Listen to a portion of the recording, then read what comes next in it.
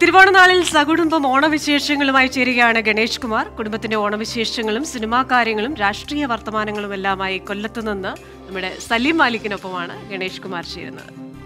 വർഷങ്ങൾക്ക് ശേഷമാണ് വീണ്ടും ഒന്ന് കുടുംബമായി ഒത്തുകൂടി ഓണം ആഘോഷിക്കുന്നത്. ഓണം എല്ലാ കാലത്തും സന്തോഷത്തിന്റെ ഒരു ഉത്സവമാണ്. പക്ഷേ ഗണേശേട്ടന്റെ ഔദ്യോഗിക തിരക്കുകൾ ഒപ്പം സിനിമാ തിരക്ക് അപ്പോൾ തീരെ സമയം കിട്ടാത്തൊരു മനുഷ്യനാണ്. അപ്പോൾ എങ്ങനെയാണ് കുടുംബത്തുള്ള ഓണം?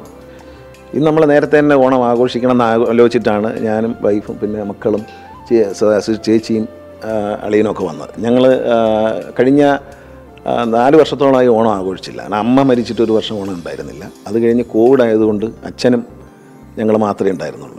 ഇപ്രാവശ്യം അച്ഛൻ മരിച്ചുകൊണ്ട് കഴിഞ്ഞ പ്രാവശ്യം ഓണമില്ലായിരുന്നു ഇപ്രാവശ്യം ഞങ്ങളെല്ലാവരും കൂടി ഒരുമിച്ച് കൂടാൻ തീരുമാനിക്കുകയായിരുന്നു. ഈ എല്ലാവരും ഒന്ന് പരിചയപ്പെടുത്താം പരിചയപ്പെടുത്താം. ഇത് എന്റെ വൈഫാണ് ബിന്ദു. ഇത് എന്റെ മകൻ ദേവരാമൻ. അത് എന്റെ സഹോദരി ബിന്ദു ബാലകൃഷ്ണൻ.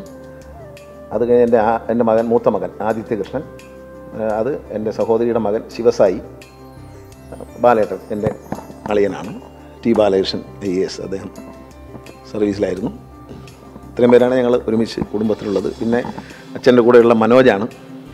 മനോജ് ഞങ്ങൾ അച്ഛന്റെ കൂടെ എപ്പോഴും ഉണ്ടായിരുന്ന അറിയാം നിങ്ങൾക്കെല്ലാം അറിയാം. മനോജ് ഞങ്ങളുടെ കൂടെ തന്നെ അച്ഛന്റെ കൂടെ ഉണ്ടായിരുന്ന പോലെ ഞങ്ങളുടെ കൂടെ ഉണ്ട്. അതെ എന്നോടൊപ്പം ഉണ്ട്. വീട്ടിലെ ഒരു അംഗമാണ്. ഒരതിഥി കൂടി വരുന്നു എന്നാണ് അറിയുന്നത്.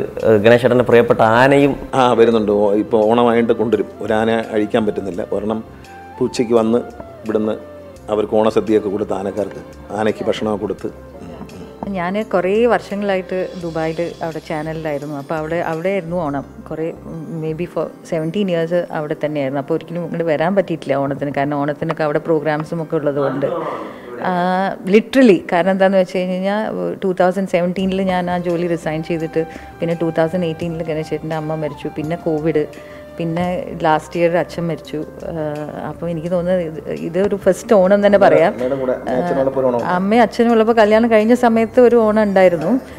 പക്ഷേ അതും രണ്ടാമത്തെ Onam. And so it's a very special Onam for us ഞങ്ങൾക്ക് പണ്ട് മുതലേ അച്ഛന്റെ അച്ഛനും അച്ഛന്റെ അച്ഛൻ മരിച്ചു. അച്ഛന്റെ അമ്മ ഉള്ളത് ആ സമയത്ത് ഞങ്ങളുടെ ഓണം ഇവിടെയാണ്. അന്നൊക്കെ ഗണേശനെ കിട്ടും. പക്ഷേ രാഷ്ട്രീയവും സിനിമയൊക്കെ ആയപ്പോൾ ഗണേശന്റെ തിരക്കുകളിൽ വരാൻ എന്നാലും ഓണത്തിന് മാക്സിമം ഗണേശനെ എത്താൻ നോക്കും. വരാതിരിക്കില്ല. ആ പിന്നെ അമ്മ അമ്മ അത് കഴിഞ്ഞ് ഞങ്ങളും കൊട്ടാരക്കരയായി പക്ഷെ ഓണം ഇവിടെയാണ്. ഓണം. ഇത്തവണ ഒരു പ്രത്യേകിച്ചിട്ടുള്ളൊരു സന്തോഷം എന്താ വെച്ചാൽ ലോകം മുഴുവൻ ഒരു വലിയ മഹാമാരി മാറിയിട്ട് ഒരു നോർമൻസിലേക്ക് വന്ന സമയമാണ്. പിന്നെ കേരളത്തിലും അതേമാതിരി തന്നെ കോവിഡിന്റെ പ്രശ്നമെല്ലാം കഴിഞ്ഞ് ഇപ്പോൾ എല്ലാവരും ഓണം ആഘോഷിക്കുന്നു അപ്പോൾ എല്ലാവരും ഓണം ആഘോഷിക്കുമ്പോൾ അതിന്റെ കൂടെ നമ്മൾ കൂടെ ആഘോഷിക്കുമ്പോൾ ഒരു പ്രത്യേക സന്തോഷം.